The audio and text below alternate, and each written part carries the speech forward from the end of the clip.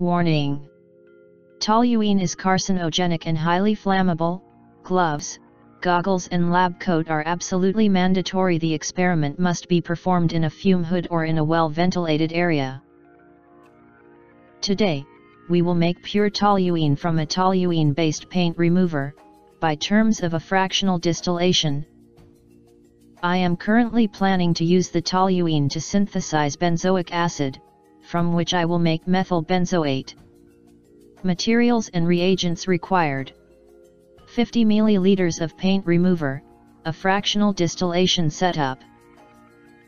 First, 50 ml of paint remover are placed in a clean and dry Erlenmeyer flask in addition to a magnetic stirring bar, then a general fractional distillation setup is assembled, on top of the head of the fractionating column, a T adapter with a digital thermocouple is attached, this is absolutely necessary as we will check the temperature of the vapors periodically. The system is then heated under constant stirring. Now, I will briefly explain the theoretical basis of the fractional distillation. In this case, we are working with a solution that contains toluene in addition to other additives, including methyl ethyl ketone, we will assume that this system is an ideal solution of two or more volatile species. At any temperature, there is a vapor phase in a pseudo-equilibrium situation with the respective liquid. The composition of the vapor phase is richer on the most volatile species with respect to the composition of the solution itself. In a simple distillation setup, the composition of the collected distillate is the same than that of the vapor phase in equilibrium with the system, this means that two volatile species cannot be properly separated from one another by terms of a simple distillation, unless their respective boiling points are very far away from each other. To solve this, we use a fractionating column, this contains a lot of small glass plates, in each of them, a non-real equilibrium is established between the liquid and the vapor phase, in each successive plate the vapor becomes richer and richer in the most volatile species, while the liquid phase becomes richer and richer in the less volatile ones so that when the vapor reaches the head it is mostly composed by the species with the lower boiling point present in the solution.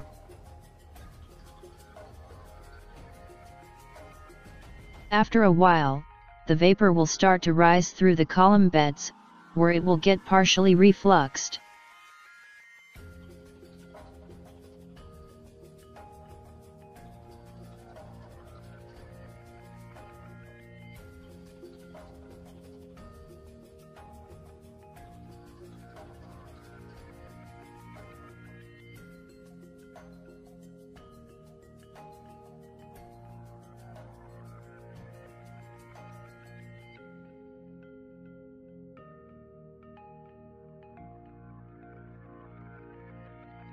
Then, the vapor reaches the T-head.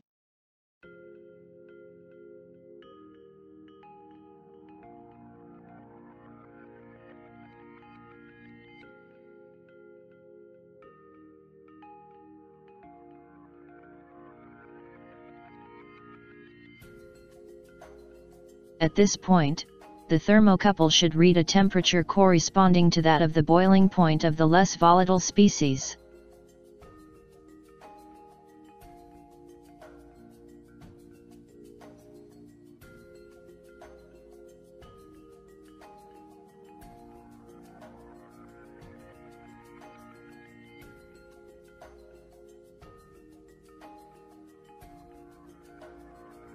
Theoretically the temperature should remain constant until that specific species is distilled out, however, according to my experience the temperature can fluctuate quite a lot, especially when working inside a fume hood. Once one specific species is completely distilled out, the temperature of the thermocouple decreases as little to no vapor reaches the thermocouple.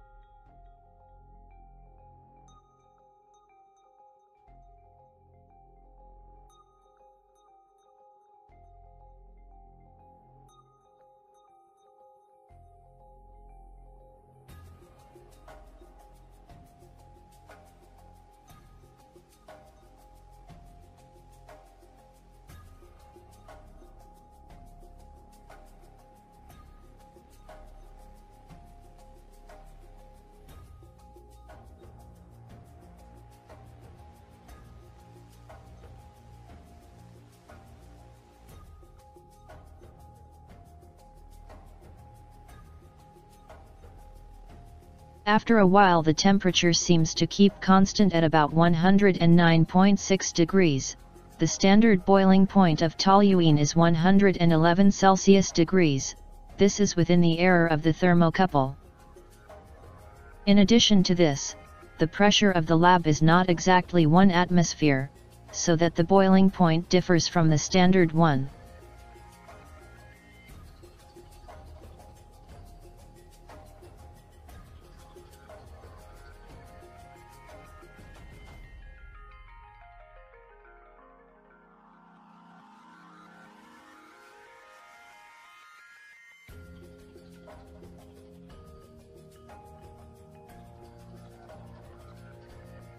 The distillate is collected as a function of the boiling point range shown by the thermocouple.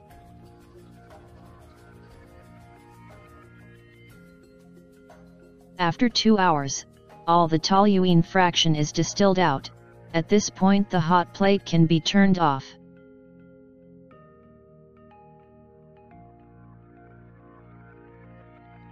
This is the liquid residue left after the distillation, which contains higher boiling point impurities present in the original paint remover. Finally, I've collected a total of 6 different fractions, to each of them I've performed a Raman spectrum from which we can infer its composition.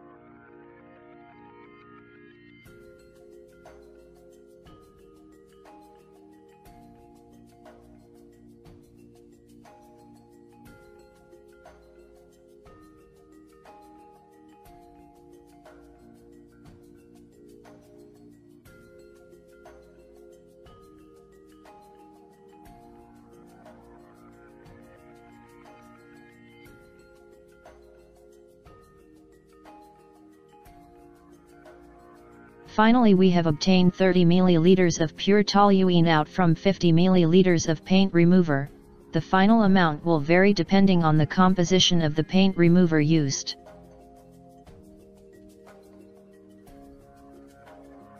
Thanks for watching.